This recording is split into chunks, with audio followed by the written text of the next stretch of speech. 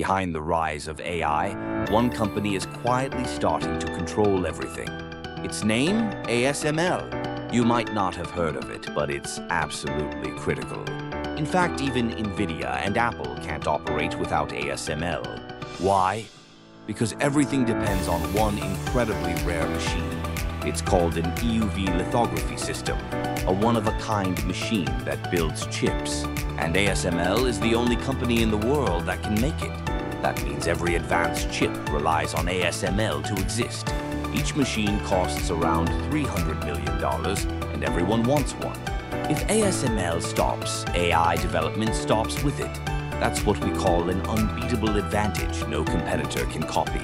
ASML is simply in a league of its own. No one can catch up. And yet, most investors still overlook it. Sometimes the best opportunities are hiding in plain sight. So, would you invest in this company?